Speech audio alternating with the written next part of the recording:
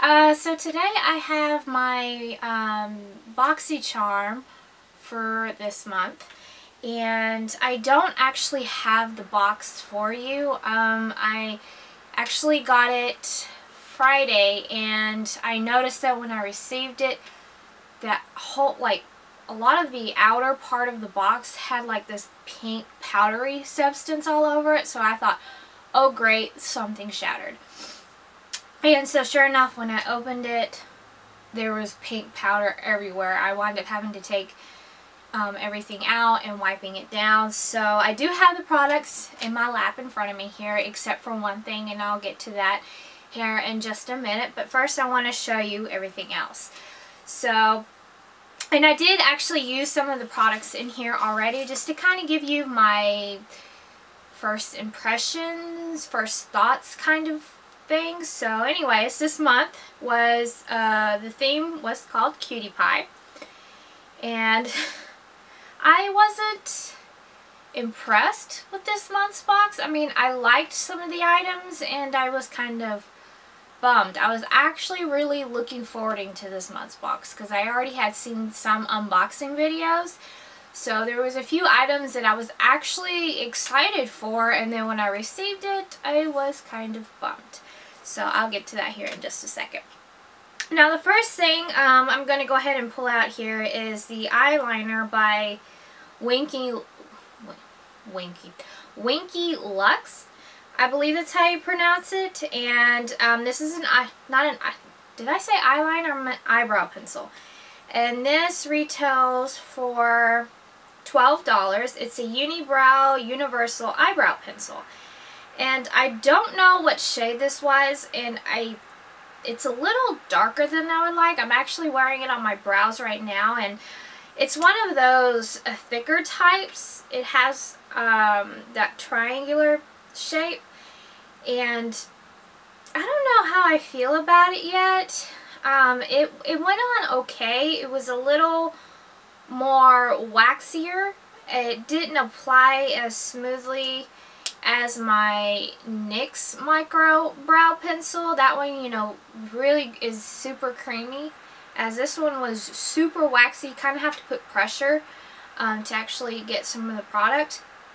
But I do, but I did like it, and it does come with a, um, an eyebrow brush at the other end, which is always nice when they come with it. So I'm not quite sure how I feel about this yet. Um, I think the color is okay on me. It's a little darker than what I want, but I'm going to keep playing around with it and see how I feel about it later.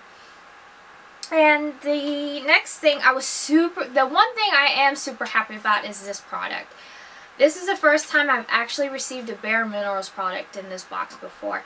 And it's the Bare Minerals Invisible Light Translucent Powder Duo. And I actually used it today to set my foundation. And I really like it. Um, it's translucent. It doesn't, um, it doesn't like give me a white cast or anything like that. Um, it's double-sided. I would swatch these, but um, I honestly don't think you're going to be able to see it anyways. This side is just a, like a matte translucent powder and it's super soft but it is a little bit powdery and the other side is uh, like a glow powder. You can actually, I'm not sure if you could put it all over your face. I think you probably could like the Hourglass Ambient powders. Um, for me I actually used it as a highlight and like I said, it is a little bit powdery, but um, yeah, I'm not sure if you're going to be able to see that. And that swatch right there is my the eyebrow pencil that I tried to wipe off, but it didn't wipe off. But yeah, I'm not sure if you'll be able to see that. You might see some shine, but anyways, I'm actually wearing it as a highlight today, and as you can see, it is highlighting. So that's why I'm not quite sure if you should put this all over. And it actually does come with a mirror as well. And so far, I'm really liking this, so I'm going to continue playing around with it a little bit more, but I really am liking it. And this is the one product that I was super, super excited about. And there is another one, which I'll get to here in a minute. And this actually retails for, where are you? Uh, $32. And I'll, you know, put everything um, I'll put everything that I've uh, that I got in the description bar below and I'll put the prices and then I'll put the total value of the box. Now the next thing is we got a Spray Set Go setting spray, makeup setting spray by Project Beauty. You get two fluid ounces here and it retails for $32. And I did use this to set my makeup after I used it and I'm not sure about how long it's going to make my makeup last. I will um, update you in the description bar down below, but um, it was okay. Um, I didn't, it wasn't anything special so far. It's kind of similar to my Wet n Wild or my Urban Decay one, but the spritzer could be a little bit more better. I'm not sure if you can see that, but it was okay. I mean, it doesn't like you know, spit at you or anything like that, the mister is okay. I, I will use this up um, and everything. And so, yeah, I don't have any complaints about this so far. The last product I'm going to show is by ColourPop, and it's the Ultra Matte Lip in Beeper. Now, when I heard that ColourPop was going to be um, in this month's box, I was super excited until I got this because I was kind of hoping for the Ultra Satin Lips. That's my favorite formula. But I got the Ultra Matte Lip. And the other thing is, uh, it's in Beeper. I already have this shade. So I was kind of bummed that um, I got an Ultra Matte Lip that I already have the shade of. If, if, if it was a different shade that I didn't have, I would be fine with it. I would be happy, but um, I would much prefer an Ultra Satin Lip.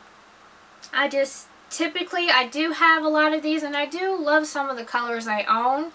Um, but I just have to wear a balm over it because one, it is super dry, and two, some of the shades, not all, um, that I owned uh, use, will last a while just fine, and then of course eventually my lips will feel dry, I have to put a balm or a clear gloss, but there are a few shades that I own that starts to feel like there's glitter on my lips after about 30 minutes of wear and I just have to wipe it off. So those ones I just immediately um, apply a balm or a clear gloss after I let it dry. And this actually retails for $6, which is very affordable. But ColourPop is a really good brand. I love ColourPop. I just wish I had gotten something else. And the next thing that was in my box is was the Electric Eyes pa palette by Blinc, which retails for $45. I would show you that, but it's two of the shadows inside um, just completely shattered. I mean, it was all over the place.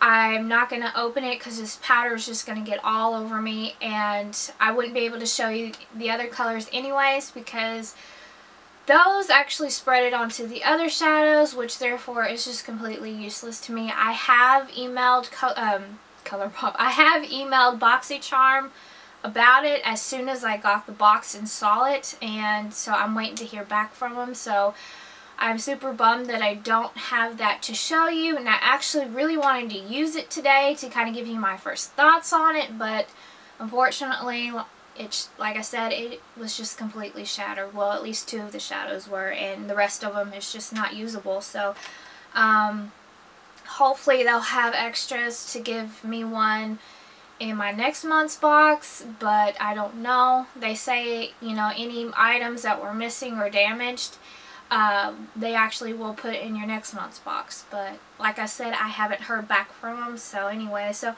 this month was just kind of a, eh, okay for me, except for the Bare Minerals powder, which I am super excited about. I love Bare Minerals, so, but anyways, so that was it for my BoxyCharm unboxing. It's not really an unboxing, but you, as I said, you already know what happens. So anyways, I hope you guys like this video. I will continue to do more of these as long as you want me to. And please give this video a thumbs up. Please subscribe if you haven't already, and I will talk to you guys very soon.